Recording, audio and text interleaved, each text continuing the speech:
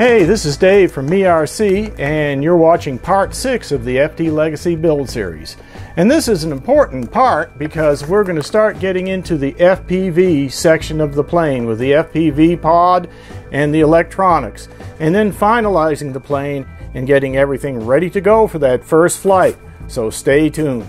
Well, let's talk about the FPV setup next. Now, you might remember I have this connection here for the video transmitter and the camera. And that's coming off the Matek F411 flight controller right here, which is mounted on the tray that I put in. See the earlier videos for that on how the tray was made. But we want to talk about what we're going to do with these signals for the transmitter and the camera. And the first thing I thought about was I needed some sort of FPV tray right here or FPV pod. So for the FPV pod I came up with a sketch like this and I know it's kind of dimensionless and kind of sketchy, so I'll just show you what it actually looks like. And what I've done is made up my own foam pod and mounted it onto the front tray that comes with the kit.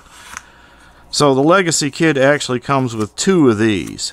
And I went ahead and just glued my pod to that. And the way this fits is it just goes down in here like that and I've got my video transmitter right here, 1.3 gigahertz, and I made sure that the antenna did not interfere with the electronics. So I powered it up, made sure I had satellites, and I had the wing on it, and then I powered up this transmitter and made sure that it didn't interfere with anything, including the GPS satellites. Okay, so I got that located about where I wanted, and this is for the pan right here, which will probably also have a tilt servo later on. And once I did that, I turned it over to my son Jon to make a 3D printed version. And this is a PETG filament that was used to print this, PETG. He wanted to try that out.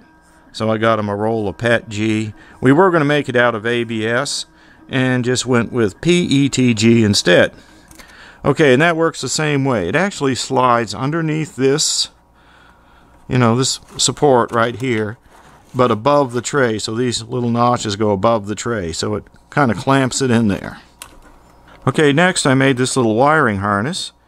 And this splits out the video and camera signal right here so that you can connect up your camera and your video transmitter. Also has a place for the battery right here. This end goes into that other plug I showed you so it plugs in right here like this. But of course I'll run it underneath like that and then go ahead and plug it in. And then this comes out here and goes to the pod where we can hook up the camera. Got a camera right here. So that'll just plug right in here and it's going to get its voltage. The voltage is an external battery which I'm going to have plugged on there, a flight battery, like this. Okay? So looking at the battery, that's actually going to mount right here. I'm going to put a piece of Velcro around this, and then that's just going to Velcro right there for the camera. That makes it so I can unplug the video if I want to fly without FPV. So you might want to trace out the front cover right here from the original so that you have a copy of it just in case you need to make another one. I also saved this outer rim from the punch out. So if I want to just lay that down and trace in here I can. So good things to save that you can use later. So I'm going to go ahead and build a second tray with uh, hot melt and then I'll probably paint both of these to match. So now I've got my tray built here and I've gone ahead and cut the two points that are right on the edges of these two flanges. I just cut them off because this has got to go straight down in there and I can't put it in first and then do that once the pod is in. So I cut those points off. Now I'm going to go ahead and insert it like this put my barbecue skewer in. And I'm going to put the tray in here like that and hot melt it down so that it's all one piece and then I can go ahead and paint it. Now I'm going to use a pan and tilt servo system like this one. There's a servo underneath here for the tilt and then there's of course the one that's on the pod for the pan. And a Mobius or a Runcam can be mounted flat right here on this plate and the FPV camera right along beside it. That way, when it's panning and tilting, the HD cam will move along with the FPV cam. Okay, I'm going to go ahead and hot melt the FPV pod down onto this front cover.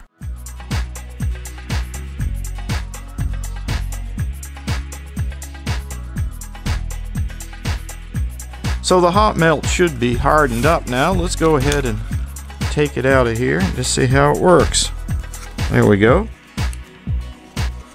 And when we want to put it back in, just slide it in like that. And then put the skewer back in. Alright, let's go paint it. The FPV pod is now painted and I'm just letting that dry. And I'm going to go ahead and glue together the CXN pan tilt unit right here. And this came from Ready Made RC.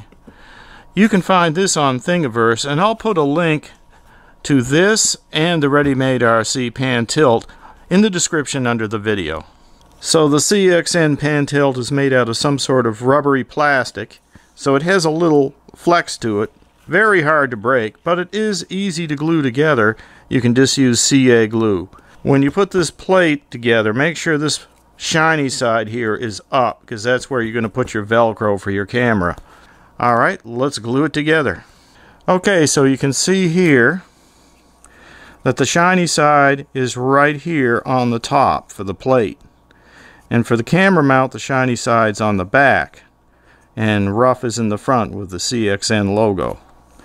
And then these things on the bottom to mount the servo, the shiny side is on the outside right here on both of them. Rough on the inside.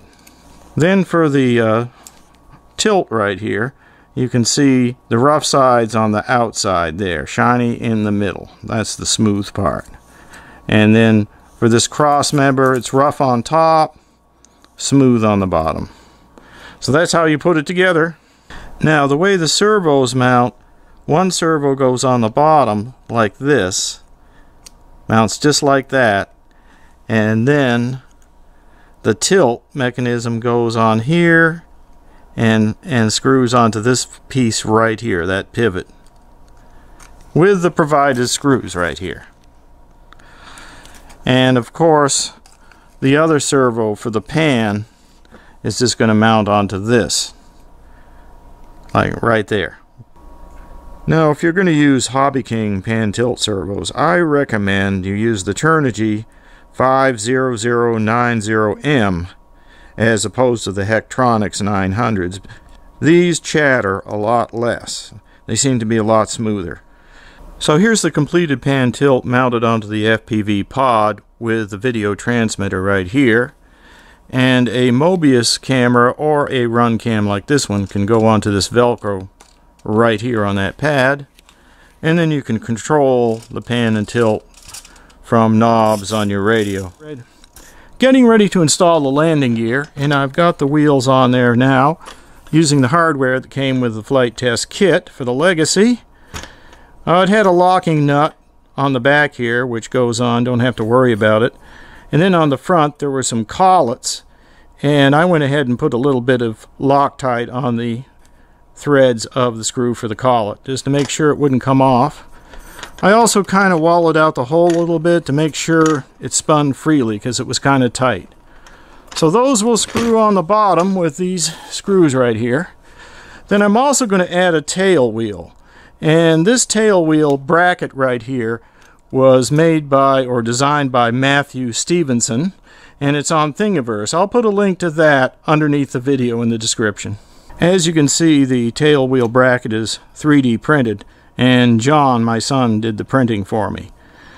And then I put some collets, and I bent a piece of wire right here, and I had a wheel in my collection that I used. So pretty much just from stuff I had laying around and a 3D printed bracket. So the tail wheel assembly goes right over this skid that was there with the kit. It's just part of the foam board. So it goes right over that. And then this lays right in the groove right here in the rudder, on the bottom of the rudder. And then you can just hot melt it into place. So the tail wheel is now hot melted on and seems to be working okay. There we go. So it moves with the rudder. I finally decided to just tape over this part here to give that a little bit of room to wiggle. But this is hot melted down here. And here is the landing gear all installed. Just four screws to go in the bottom that were provided in the package. So some people were concerned about the power to the ESCs. The wires they thought were too long. So I've pulled these through as far as I can get them towards the center and I might be able to reduce these down by three inches. Maybe cut this section off remove about three inches out of that. But that's about all I can do because I still need room to plug in the the power when I put the wing on. So it pretty much makes it impossible to make them any shorter. So I'll just go ahead and maybe reduce these wires before I before I put the wing on alright adding the barbecue skewers to the tail I'm going to go ahead and hot melt those in it just wouldn't be right without the Flite Test signature barbecue skewers. Could have used carbon fiber, yeah. But, in keeping with Flite Test, you got to have some barbecue skewers somewhere. So there we go. So other than a, a few finishing touches with the programming and adjustments, I think it's probably ready for a flight test.